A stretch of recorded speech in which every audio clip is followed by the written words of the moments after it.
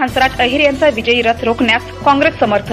पण गटबाजीच्या पत्ता साफ करून काँग्रेसची उमेदवारी मिळवलेले आमदार बाळू धानोरकर यांच्या पुढे नामदार हंसराज अहिर यांचे मोठे आव्हान उभे ठाकले असले तरी ते पेलण्यास आपण समर्थ असल्याची प्रतिक्रिया धानोरकर यांनी दिली आहे.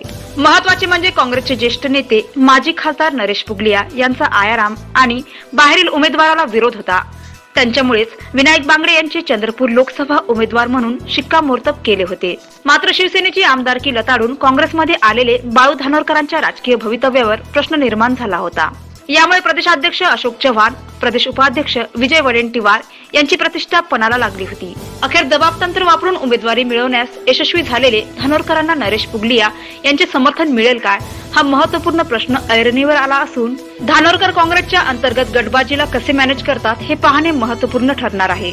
नामदार हंसराज अहिर यांचा पंधरा वर्षापासूनचा सलग आगेकूच करत असलेला विजयी रथ रोखण्याचे सामर्थ्य काँग्रेसमध्ये असले तरी अंतर्गत गटबाजीचे काय? हा प्रश्न ऐरणीवर आला आहे. महावाईसाठी नरेंद्र सोनारकर नागपूर. तर तुम्हाला माहिती आहे की आम्ही जिथे जिथे हात टाकला ज्या ज्या निवडणुका लढवल्या तेवढ्या ताकदीने लढवल्या. मोदीच्या लाटेमध्ये सुद्धा मी या भागात पूर्व विदर्भात एकमेव बत्तीस आमदारापैकी एक आमदार निवडून आलो. काँग्रेसची सुद्धा जिल्ह्यामध्ये एकच आमदार निवडून आला तो त्या भागातला आहे. म्हणजे काँग्रेसचे सहा विधानसभा जर सोडले तर काँग्रेसकडे एकही आमदार नाही आहे या भागामध्ये.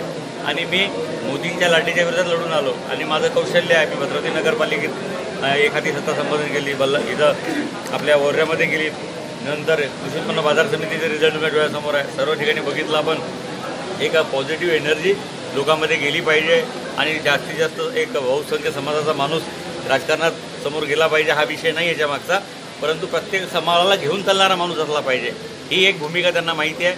मुस्लिम समाज असो दलित समाज असो आदिवासी समाज असो प्रत्येक समाजाच्या घटकाला विकासाच्या प्रवाहामध्ये वाहून नेण्याचं काम मी माझ्या मागच्या कारकिर्दीत केलेलं आहे. त्याच्यामुळे या जिल्ह्यातील या लोकसभा क्षेत्रातील जनतेचा माझ्यावर विश्वास जास्त आहे. हा त्यांना सर्वे केला म्हणून त्यांच्याकडे एकोणीस उमेदवार सुद्धा असून मला त्यांनी उमेदवारी दिली.